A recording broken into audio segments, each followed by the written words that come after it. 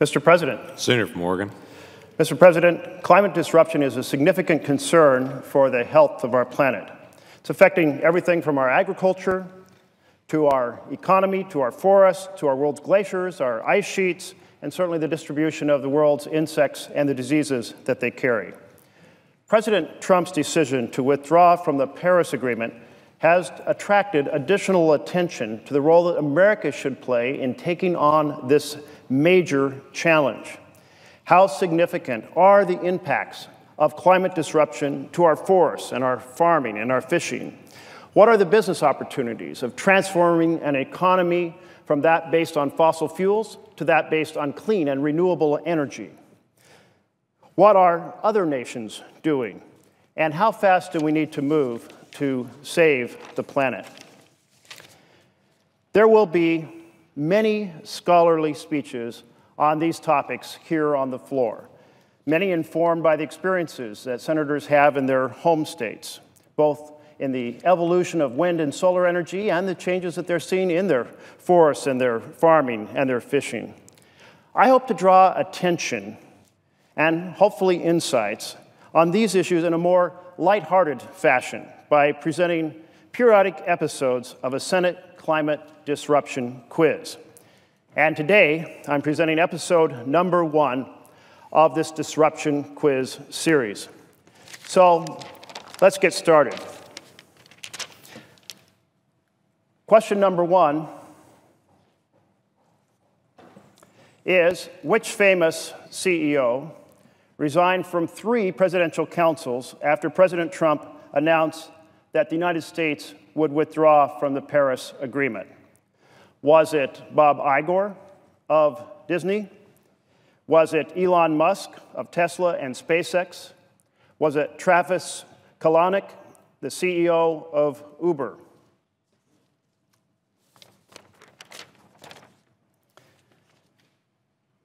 Consider which of these individuals made this decision.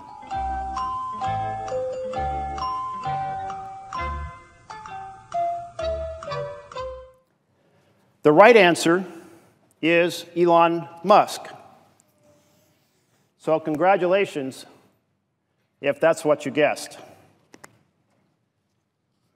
Now, Bob Iger of Disney, he resigned from a presidential council, but he only resigned from one, not three. He resigned from the President's Strategic and Policy Forum. And he has been quite significant in putting forward other environmental issues, such as the zero waste of Disney's theme parks. And he said when he resigned, he said, quote, protecting our planet and driving economic growth are critical to our future, and they aren't mutually exclusive. He continued, I deeply disagree with the decision to withdraw from the Paris Agreement. Travis Kalanick the controversial and besieged Uber CEO, also resigned from the same council, the Presidential Strategic and Policy Council. But he did so in response to the president's Muslim ban, not to the announcement that the United States would withdraw from the Paris Agreement.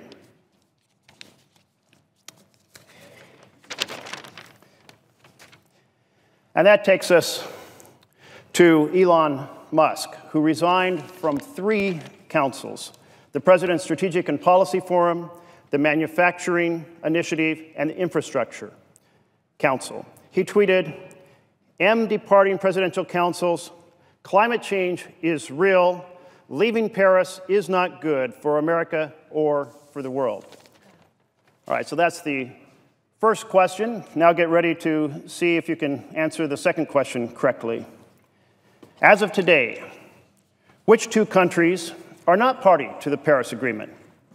Is it Syria and, and Nicaragua? Is it Iran and North Korea, two members of the axis of evil? Togo and Indonesia? Or India and Cambodia? And I'm sure you've heard climate news about all of these countries, but you may not know which ones are the only two countries in the world who are not members of the Paris Agreement. And by the way, the United States is not on this list because even though we have announced we're withdrawing, that takes some time and we're actually still a member.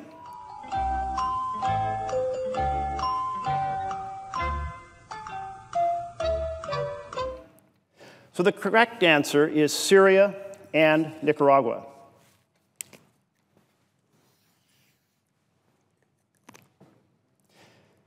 Nicaragua hasn't signed on because they don't believe the Paris Agreement goes far enough in its fight against climate disruption.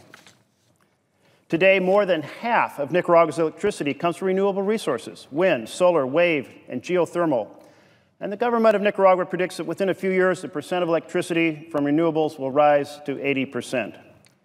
Because of the abundance of these resources, a 2013 World Bank report labeled Nicaragua, quote, a renewable energy paradise. And the reason that Syria didn't participate or sign on to the Paris Agreement is because it's in the midst of a horrific six year long civil war that has claimed the lives of 300,000 men, women, and children and driven millions out of the country. Okay, now we'll turn to question number three. And that question is Thanks in part to warmer temperatures and milder winters, cases of which tick borne illness have more than doubled since 1991? Is the answer Colorado tick fever, or tularemia, or Lyme disease, or heartland virus? By the way, all these are real diseases. Well, now, Colorado tick fever is a viral infection that is mostly found in the mountain areas of western United States and Canada and is transmitted by the bite of an infected Rocky Mountain wood tick. Tularemia, which is also known as rabbit fever or deer fly fever or O'Hara's fever, is certainly a scary sounding disease. Lyme disease, often transmitted or mostly transmitted by deer tick bites and predominantly found in the Northeast and upper Midwest and Mid Atlantic regions of the country. And then Heartland virus, which is transmitted by the Lone Star tick. Well, the correct answer is drum roll.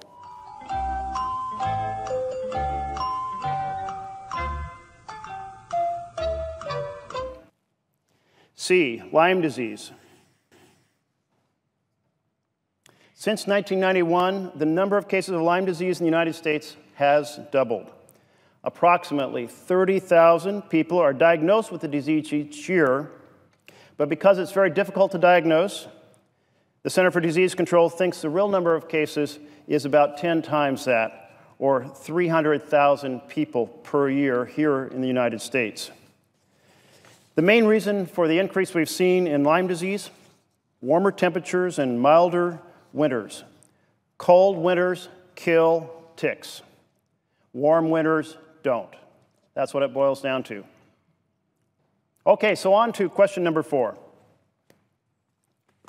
The question is who was recently quoted saying, quote, the fuel of choice right now, certainly for us, is wind. Was it Bono, the lead singer of U2 and founder of the One campaign, known for its activist work in Africa? Was it Gwyneth Paltrow, the award winning actress? Was it Ben Fowke, the CEO of Xcel Energy, which owns and operates 13 coal plants around the country?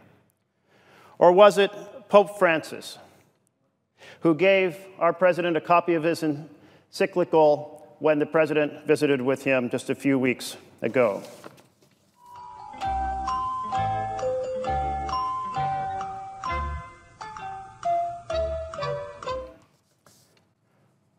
Well, it turns out the answer is C, the CEO of Xcel Energy.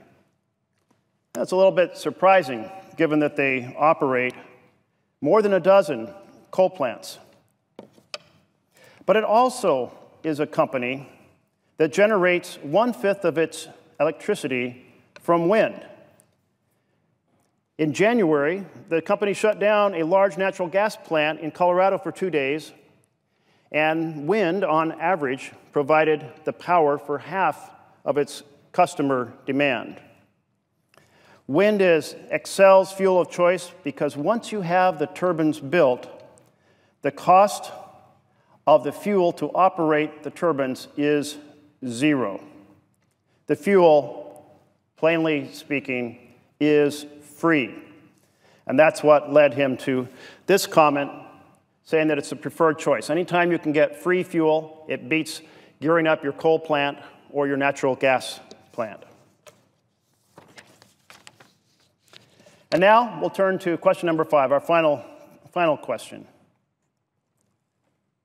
The power minister of which country recently announced that it is planning to sell only electric cars by the year 2030?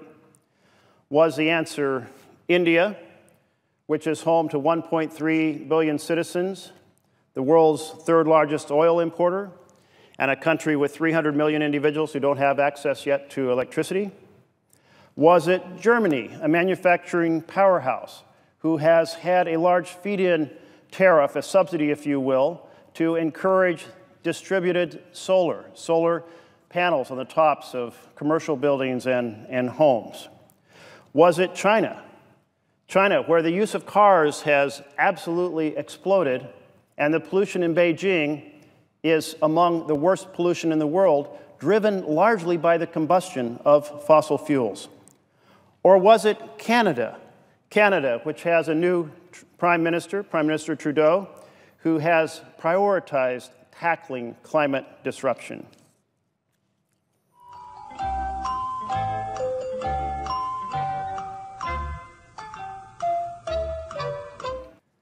Well, if you guessed Germany, you were almost right, but not quite. Germany's Bundesrat, the country's upper legislative chamber, passed a non binding resolution last October calling for a phase out of gasoline powered vehicles by 2030. But that's not the question quite that was, was asked. The question is which country's power minister said they would only sell electric cars by the year 2030? And the answer to that is India. Speaking at this year's annual conference of the Confederation of Indian Industry, Power Minister Goyal said, quote, we are going to introduce electric vehicles in a very big way. We are going to make electric vehicles self-sufficient. The idea is that by 2030, not a single petrol or diesel car should be sold in the country. India, by the way, is already on track to be the world's third largest solar market, with the country's solar capacity expected to reach 18.7 gigawatts by the year's end. The country is also adding 50% more solar and wind generation than currently installed here in the United States. They're replacing 770 million street and household lights with energy saving and long lasting LEDs. And they're bringing access to electricity to the thousands of poor rural villages through the provision of solar. And they're doing all this faster than anyone could have anticipated.